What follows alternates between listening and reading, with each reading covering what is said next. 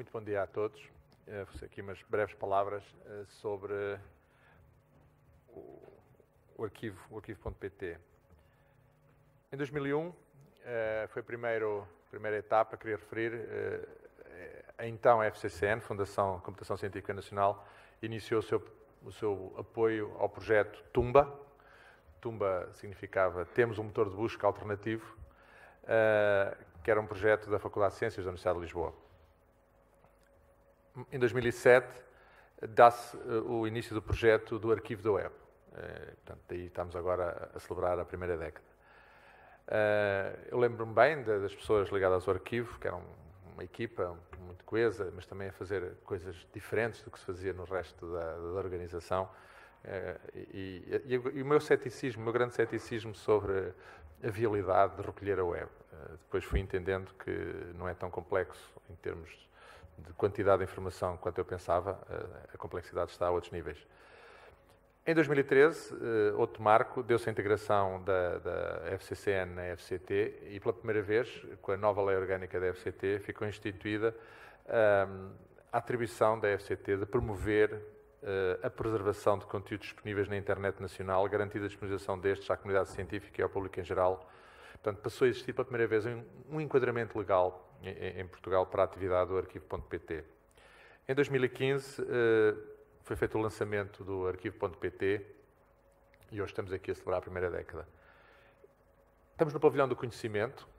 É, o arquivo é um acervo importante para construirmos o conhecimento do que foi eh, esta, esta última década. Para muitas pessoas, hoje em dia, a web confunde-se um pouco com a internet, mas não é exatamente a mesma coisa. Eh, eu ainda me lembro de haver outras tecnologias eh, que eram usadas para a comunicação interpessoal, para a comunicação entre empresas e indivíduos, mas na verdade a web, eh, com exceção do e-mail, com exceção do e-mail, que é o, digamos, o serviço dinossauro sobrevivente dos primórdios da internet, a web de certo modo, eh, esmagou e absorveu todos os outros serviços de comunicação pela sua flexibilidade, pela sua facilidade e tem evoluído eh, e tem assumido uma cada vez maior centralidade. Ao mesmo tempo, eh, a internet tem recebido praticamente todos os tipos de relações interpessoais, ou seja, tem-se transferido na sociedade as relações interpessoais que existiam, digamos, de uma forma não virtualizada, não intermediada por esta, por esta rede, passaram a estar cada vez mais uh, a ser feitas e a ocorrer na, na, sobre este meio que é, que é a internet. E sobre, mais uma vez, páginas web, protocolo web. Temos o aparecimento das redes sociais, temos o aparecimento dos blogs, temos o aparecimento de imensas, imensas formas de comunicar. Eu diria que praticamente qualquer uh, relação interpessoal que não envolva, uh, digamos, a, a, necessidade de transmissão de matéria ou proximidade física uh, tem o potencial de poder ser feita através da internet.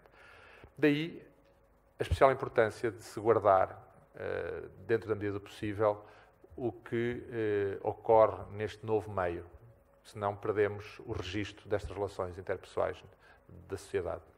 E essa é que eu acho que é a, a, a grande centralidade que um projeto como o Arquivo.pt tem. Temos agora uma primeira década arquivada e uh, estamos empenhados em abrir ao máximo à sociedade este, este acervo para que seja usado, explorado, investigado, partilhado e melhorado eh, em, em conjunto com essa própria sociedade. Muito obrigado.